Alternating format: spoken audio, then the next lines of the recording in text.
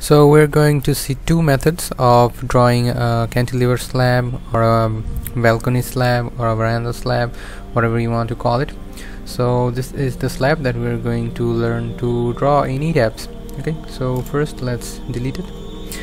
Now for the first method uh, we are going to draw a joint point object and then we're going to use that. So I'm going to draw a cantilever slab here which will have the same length as this slab uh, on this side.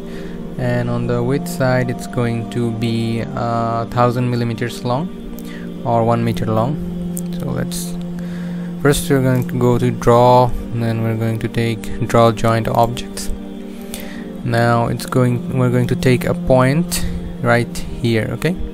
About uh, minus thousand millimeters in the negative y direction. So let's write minus thousand and then let's click on this joint here. Okay so our object is there. Then we're going to choose this uh, option of drawing slabs. Click on there. And we're going to choose our S125 slab. You can choose any slab you want. I'm just taking that one. Then we're going to click on this corner and hold on to that click and then drag your mouse to this joint point object and then let go. Okay so here you have it. Your cantilever slab has been drawn. Now for the second method let's delete it again. Let's delete this one as well.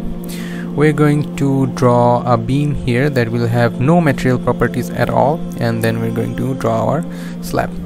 So first let's take draw beam we're going to take property none here's a property called none you can see. We're going to choose that. And then we're going to take offset again for minus 1000 millimeters. Then we're going to specify this point first and then this point. As you can see we have a beam that has no property no material property now we're going to choose this we can either choose this option or this option for drawing rectangular slab. So I'm taking this option this time.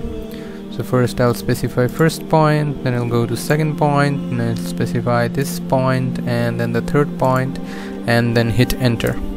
As you can see your slab has been drawn.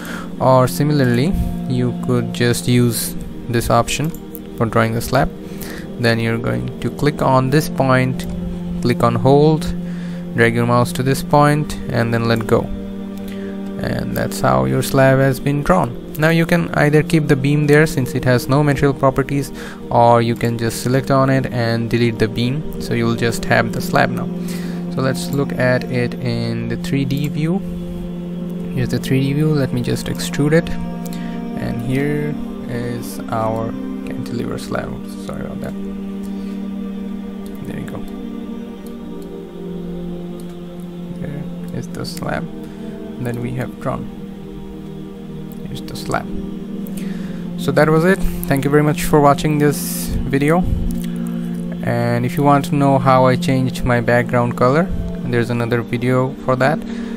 You'll see the video pop up anytime now. You'll just click on that and learn that as well. Thank you very much